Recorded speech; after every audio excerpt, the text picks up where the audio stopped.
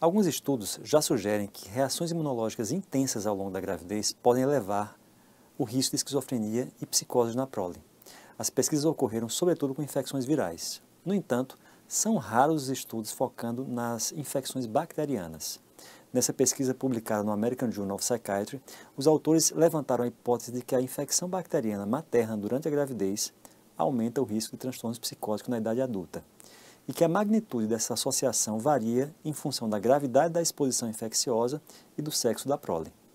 Vamos então checar como eles tentaram responder a essa pergunta e quais foram os resultados. Aguarde a vinheta.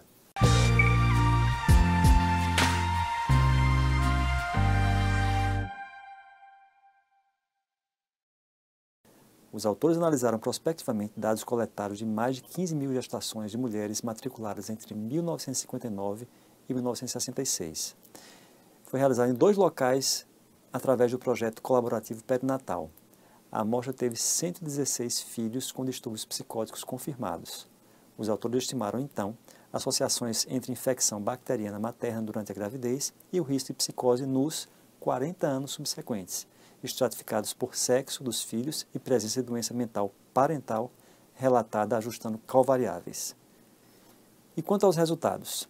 A infecção bacteriana materna durante a gravidez esteve fortemente associada à psicose na prole, com a odds ratio ajustada de 1,8 e variou de acordo com a gravidade da infecção e do sexo da prole. O efeito da infecção bacteriana multissistêmica, com odds ratio ajustada de 2,9, foi quase o dobro do da infecção bacteriana localizada menos grave, que teve odds ratio de 1,6 os homens foram significativamente mais propensos do que as mulheres a desenvolver psicose após exposição materna a qualquer infecção bacteriana durante a gravidez.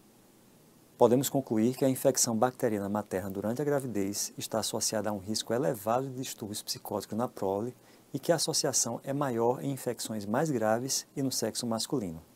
Esses achados exigem, claro, investigação adicional e, se os achados forem replicados, esforços na saúde pública e na clínica devem se concentrar na prevenção e gerenciamento de infecções bacterianas em mulheres grávidas.